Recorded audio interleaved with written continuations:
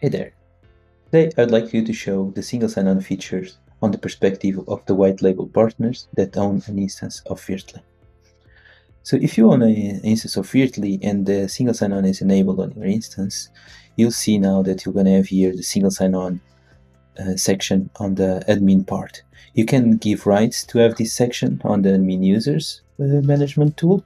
So if you don't have it, you can uh, assign it to your own user or to anyone on your team to manage it.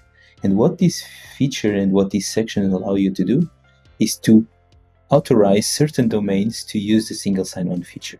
So everything on the single sign-on is based on the domain. So for example, we have configured already the veertly.com domain on this instance, meaning that if you want to enter with a single sign-on using, if you have an email at veertly.com, you will forcefully use the, the single sign-on configuration. So if you want, one of your customers want to have a single sign-on uh, feature or enable it for their own domain and organization, you'd first need to create their domain here.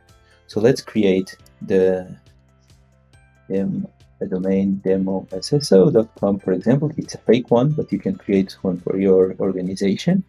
You can have the status draft, active or suspended. It will only work if it is active, but uh, you can, for example, if you are preparing it and giving it to your uh, customers while it's not yet configured so that there's no impact on the front end, you can keep it in a draft mode and then you can configure it. So let's do that. And then you can also uh, assign someone as an administrator of this single sign-on domain.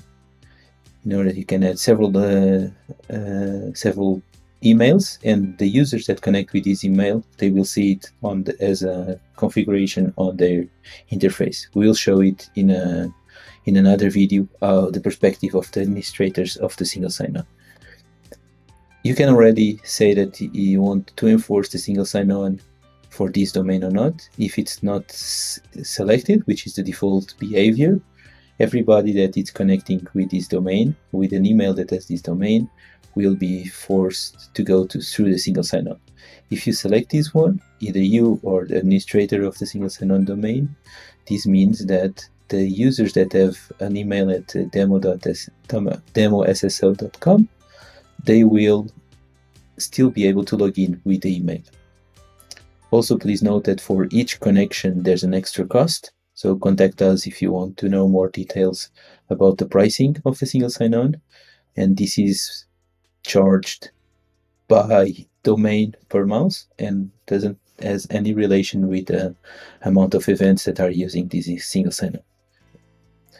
So I've saved this one and it's in the draft mode and this step is the first step in order to configure the single sign-on for your customers. So you need to create it here and then assign the administrator email to the organize to the to your customers and then they will be able to configure the, the details of the domain.